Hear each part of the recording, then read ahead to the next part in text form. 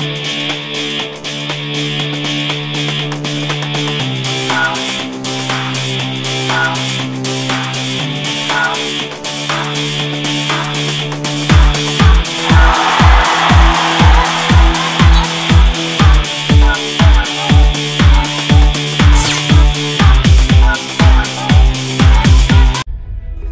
い、皆さんこんにちは。鳥取キングダムです。今日もよろしくお願いいたします。はい、えー、今日は、えっ、ー、と、アクセサリー最終章ですね。えっ、ー、と、今日はですね、イタリアのアクセサリーを、えっ、と、さささっと紹介させていただいて、で、えっ、と、今まで紹介してきた4カ国のアクセサリーをですね、え統合してちょっと紹介していきたいなというふうに思います。えその後に、えユーティリティ別、それから上半身、え下半身別で、えー、全体のアクセサリーをまとめましたので、それを見ていって、最後に、えー、鳥取キングダムが選ぶベストアクセサリー、えー、8選というのを、えー、ちょっとお送りさせていただきたいなというふうに思ってます。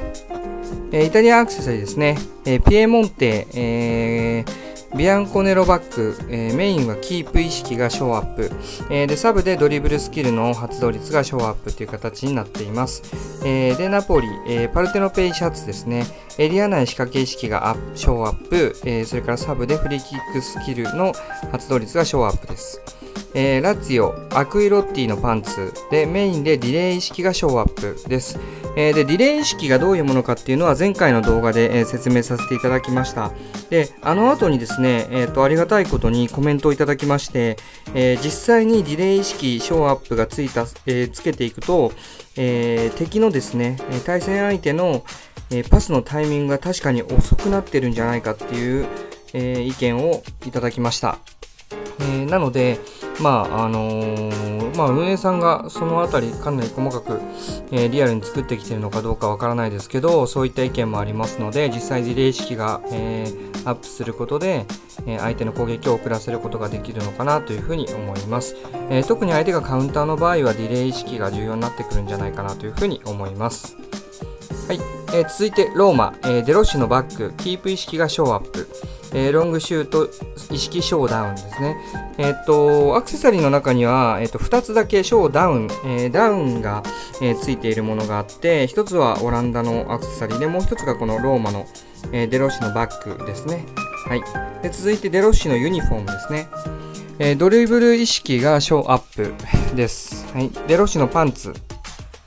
え、ディレイ意識がショーアップで、ロングスキル、ロングパススキルの発動率がショーアップっていう形ですね。え、ー、と、これはま非常にボランチに優秀かなというふうに思います。はい。で、ミラノ、えー、ダンブロージオのタオル、えー、ロングパス意識ショーアップ、ヘディングスキル発動率がショーアップですね。えっと、これに関しては、ダンブロー城に関しては、右サイドバック専門のアイテムになっています。右サイドバックにヘディングスキルってなかなかつけないと思うので、まあ、この辺りどうなのかなというふうに思います。はい、えー、続いてダンブロージュのウィンドブレーカーですね、えー、守備意識ショーアップ、えー、これは非常に優秀だと思います。はい。で最後、ダンブロージョのパンツ、えー、ディレイ意識がショーアップ。で、トラップスキルの発動率がショーアップっていう形になってます。えー、イタリアアクセサリー全体的に見て、えー、ボランチディフェンスに、まあ、えー、効果的なのかなというふうに思います。まあ、ディレイ式が上がるものが多いっていうところをですね。はい。なので、まあ、カウンター対策、まあ、サイドバックですかね。えー、あ、サイドバックじゃない。えっ、ー、と、サイド、サイドのフォーメーションの選手のボランチとかにこのディレイ式っていうのをつけていくと効果的なんじゃないかなと個人的には、えー、思いますね。はい。えー、とこれで、えー、4カ国ですね、スペイン、えー、オランダ、フランス、イタリア、えー、4カ国の、えー、アクセサリーの紹介がすべて終わりました。はい。で、ここからはですね、えー、とこの4カ国のアクセサリーをすべてこう統合して見ていきたいなというふうに思います。はい。えー、とその前に、えー、とまとめて、えー、2枚ですね、この2枚、えー、スクショ、えー、撮っていただけると、えー、まあ、まとめてあって分かりやすいんじゃないかなというふうに思います。はい。イタリアアクセサリー、えー、スペインアクセサリーですね。はい。続いて、えー、フランスアクセサリー、オランダアクセサリーですね。はい。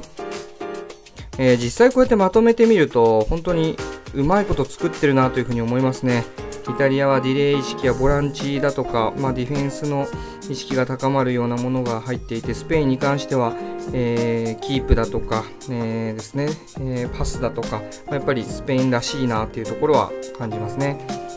はいでフランス、もう意外とこのフランスってあんまり回ってる方少ないかもしれないんですけど、フランス優秀なんですよね。はい。はい。では、えっ、ー、と、今度はですね、えー、ユーティリティ、上半身、下半身でアイテムをすべて分けてみました。えー、まずユーティリティからですね。ユーティリティはこの、これだけ、えー、種類がありますね。えー、ちなみに、えっ、とですね、白色のアイテムがブロンズのアイテムです。なので、ステータスアップは1つしかつかないものです。はい。で、えっ、と、このネズミ色、灰色のアイテムは、え、シルバーのアイテムなので、ステータスアップが2つつく可能性があるアイテムですね。で、青色の、え、ものに関しては、同じくシルバーなんですけど、えー、ポジション条件がついているアイテムですね。はい。こんな感じになってますね。なので、ユーティリティどれつけようかなっていう時もうこの中からどれをつけるかっていうのをその選手に合わせて選んでいただければいいんじゃないかなというふうに思います。はい、次いきます。はい、えー、続いて上半身のアイテムをまとめてみました。えー、先ほどと色分けは同じですね。はい。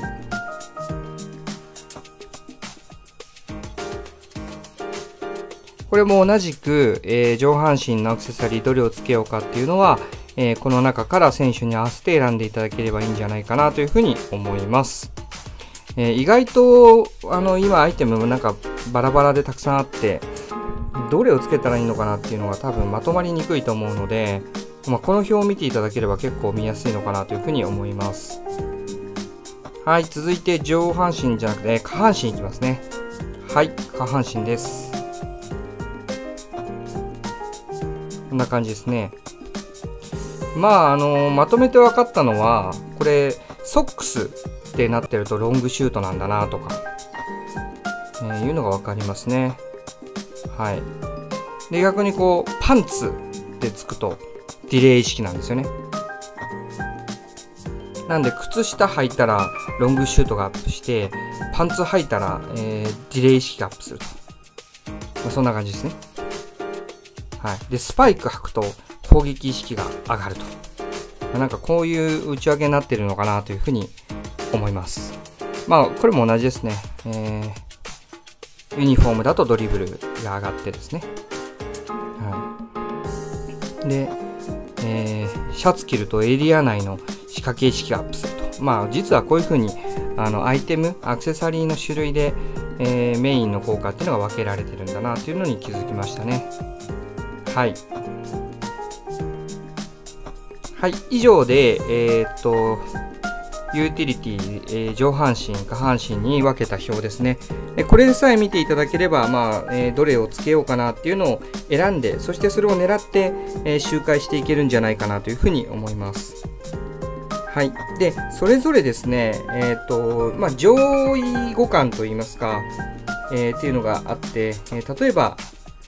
えー、これ、あえー、影えー、下半身で言うと、アクイロッティのパンツですね。これディレイ意識はショーアップなんですけど、デロッシのパンツやヒメネスのパンツの方が、えー、これシルバーなので、ステータスアップが2つつくので、まあ、上位互換なのかなっていうところですね。で、そういったところで、えー、っと、個人的に8選、えー、アクセサリーを選んでみました。ドン。こちらですね。えー、これが、えー、鳥取キングダムおすすめの最高の8選という形になります。でちなみにですけど、えーと、条件のところ全選手につけれるものの中で選んでます。えー、なぜかというと右サイドバックや、えー、左ウィング限定のアイテムメッシ限定のアイテムに関してはもうそれはコンボ効果があるので、まあ、一番強いと言ってもいいです。なので、もうそのポジションに関してはそれをつけてあげるということで、それ以外のところで、えー、全選手につけれるアクセサリーの中から、え8選選ばせていただきました。はい。えー、まずリールですね。イコネのタオル。これがロングパス意識がショーアップというものですね。えー、ロングパス意識がショーアップっていうのは他にもあるんですけど、えー、イコネのタオルに関してはシルバーなので、ステータスアップ2つついて、シンプルにロングパスが、えー、アップするっていうところで非常におすすめですね。はい。続いて、ファンペルシーのミサンガ。えー、これもおすすめですね。えー、パス意識がショーアップして、トラップスキルの発動率がショーアップ。同じく、同じくですね、ミサンガ系パス意識が上がるものはあるんですけども、まずファンペルシーでシルバーなので、ステータスアップが2つつく可能性があるということ。えー、それからトラップスキル、持ってなかったとしたら、え、意味はないんですけども、持っているとしたら、え、トラップスキルの発動率ショーアップというサブまでついているということで非常に優秀ですね。はい。え続いてマルセイユ、えオリンピア。ドリブル意識がショーアップでトラップスキル発動がショーアップですね。これも上のロッテルダムと同じような、え感じのドリブル意識の、えバージョンだと思っていただければいいかなというふうに思います。はい。続いて、デロッシのユニフォーム。これも同じくドリブル意識ショーアップです。で、オリンピアの方がサブがついている分優秀なんですけども、トラップスキルついてない選手に関しては、まあ、どちらでもいいのかなということですね。えー、これも同じくステータスアップが2つつくということですね。はい。続いて、え、ー、と、ヒメネスのインナーシャツですね。エリア内仕掛け意識がショーアップ、それからサブでヘディングスキル発動率がショーアップがついてます。これも非常に優秀ですね。えっ、ー、と、センターフォワードの選手でヘディングスキルがついているのであれば、えー、非常にこれは効果的じゃないかなというふうに思います。続いてファンペルシーのユニフォーム。えー、ドリブル意識がショーアップ、えフリーフリーキックスキルの発動率がショーアップというものがついてます。え、フリーキックの発動に関しては、えー、っと、ポジション限定のものが多いんですけども、これはどの選手にもつけれるということで、フリーキックスキルをつけている選手がいるのであれば確実につけていきたいスキルですね。はい。で続いて、イコネのソックス。えー、ロングシュート意識がショーアップ。サブでドリブルスキルの発動率がショーアップ。個人的には一番好きな、えー、アクセサリーがこのイコネのソックスですね。えー、これはもうセンターフォワードにも、えー、つけれますし、ウィングにもつけれますし、え、非常に攻撃的なアクセサリーじゃないかなというふうに思います。はい、えー、最後、デロッシのパンツ。えー、ディレイ意識がショーアップ、ロングパススキルの発動率がショーアップ。これも非常に優秀ですね。ボランチにつけることによって、えー、相手の攻撃を遅らせることで、えー、カウンターを防げると。えそれから守備の陣形を整えることができるリレー意識がついていて、さらに、えボランチでロングフィードすることができるロングパススキルを持っているのであれば、えその発動率が上がると。で、これはサイドバックでも使えますね。サイドバックでも、えー、ディレイ意識で相手の攻撃を遅らせる。そして、ロングパススキルでクロスの精度が上がっていくと。